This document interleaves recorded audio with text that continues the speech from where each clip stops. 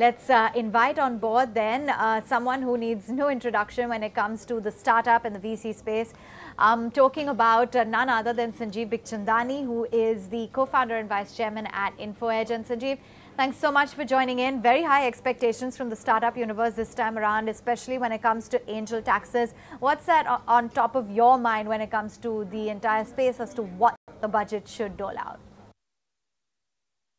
It's not just the budget, it could be post-budget also. You know, it's uh, uh, there's an ongoing sort of conversation with uh, the government and the startup sector and uh, in and VC investors.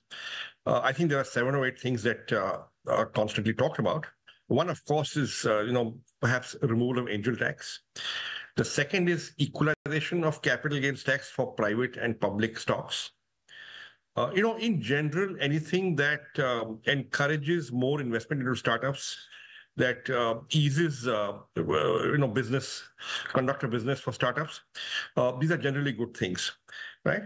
Um, now, at a time when uh, public markets are doing so well, uh, you know, enough investors are perhaps not as keen on private markets as they are on public markets uh, because public markets are not liquid. Public markets, your investment is locked up for uh, several years.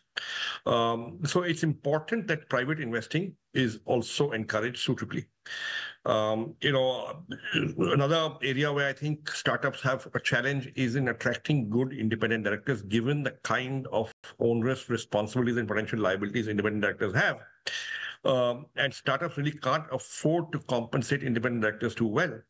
So perhaps, uh, you know, till about a decade or so ago, um, you know, independent directors could get ESOP. Perhaps uh, that could be considered once again.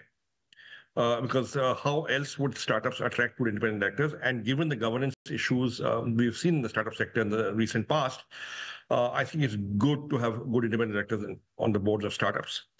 Um, you know, um, then ESOP taxation uh, can be made perhaps a little bit more employee friendly. You know, it can be taxed at the time of sale not time of exercise, maybe. Uh, that would help. These are these are a few of the things that you know uh, you know that that that would make sense. I think uh, easing of um, reverse flipping. The, the process, uh, you know, it takes two, three months now. Can it be brought down to a couple of weeks? It'll help a lot. Uh, I think, um, you know, equalization of GST when both in the offline and, and digital worlds. For example, in the edtech sector, education has no GST, but uh, there's a 5% GST on um, uh, on digital uh, education. So a level playing field would help. Yeah, that's true. A lot of valid points there uh, in terms of ease of doing business as well. And, you know, I asked this to Harshal and I'd like your view as well. Just as the government has already prioritized financial inclusion, don't you think the focus on technological inclusion is also the need of the hour?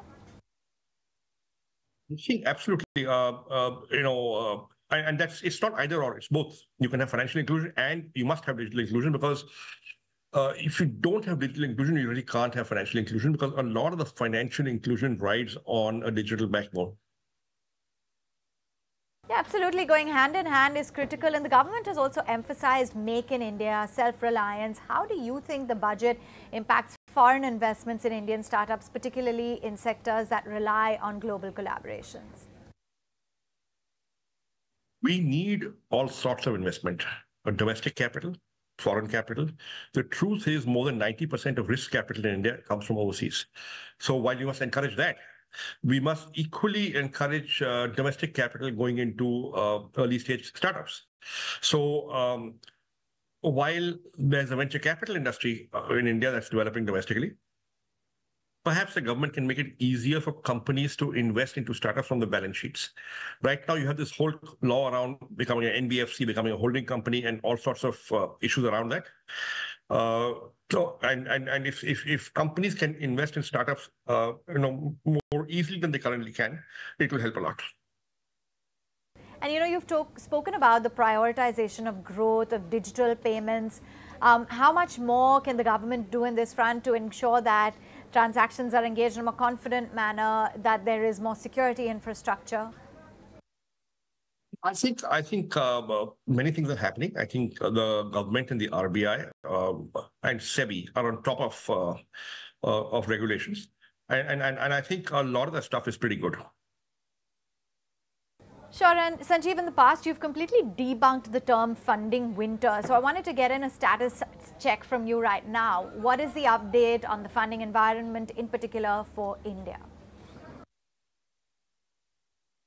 I think, um, you know, uh, there was never a funding winter for good companies. Yes, the froth is gone. Uh, yes, investors are a little bit more cautious. And they're not in a hurry. They'll take their time. But good companies have always and will always get funded. Uh, so I don't see that as a problem. Right, and you know, since we have you with us, let me get in your thoughts. Just very recently, the Zomato co-founder uh, and CEO Deepinder Goyal joined the Billionaire Club. It is a portfolio company of yours. So, what level of return are you anticipating for Zomato? Do you believe that Blinkit could even become bigger than Zomato?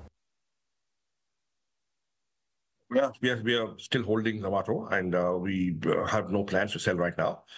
Um, so we believe in the long-term future, uh, the long-term story. We believe Zomato has uh, done something really, really good with Blinkit.